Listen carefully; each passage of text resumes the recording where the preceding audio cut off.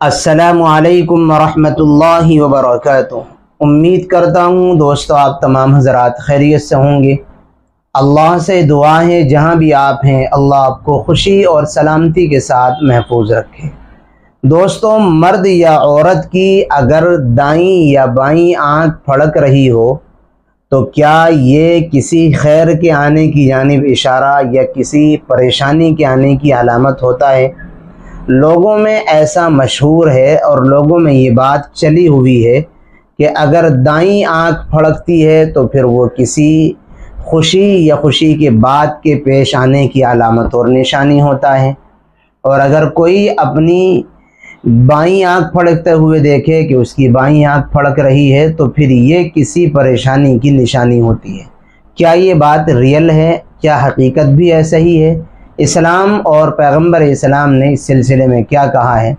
ये आज की इस वीडियो में हम क्लियर करने वाले हैं। याद रखें, आँखों के फड़कने की वजह से किसी खैर के आने या किसी शर के आने का नज़रिया और अकीदा रखना, ये इस्लामी सोच के बिल्कुल ख़िलाफ़ है। कोई भी खैर या कोई भी शर, कोई भी अच्छाई, कोई भी बुराई अल्लाह के फ़ैसले के बग़ैर नहीं आती, अल्लाह की मर्ज़ी के बग़ैर नहीं आती। अल्लाह अगर किसी खैर को देना चाहें तो उसके लिए दाई आँख का फड़कना ज़रूरी नहीं है। अल्लाह ताला कोई बुराई भेजना चाहें, किसी आफत, मुसीबत में गिरफ़्तार करना चाहें तो बाई आँख का फड़कना ज़रूरी नहीं है।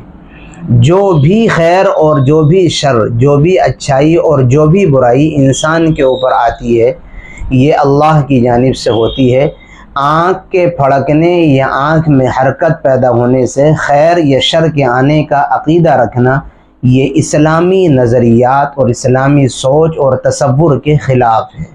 इसलिए ये जहन से निकाल देना चाहिए। ये बात आवाम में गलत मशहूर है कि अगर बाई आँख फड़कती है तो किसी मुसीबत और परेशानी आने की अलामत है। और अगर दाई आँख फड़कती है तो फिर किसी खुशी या खुशखबरी के मिलने की उम्मीद है। ऐसा हरगिज़ नहीं है।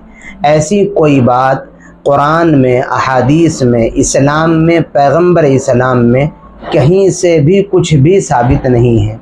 वरना तो आप ये बताएँ कि ज़िंदगी में कितनी खुशियाँ इंसान को मिलती हैं और ज़िंदगी में कितनी बुरी ख़बरें और बुराई और तकलीफ़ इंसान को पहुँचती हैं, क्या तमाम की तमाम खुशियों के पीछे उसकी दाई आँख का फड़कने का दखल होता है?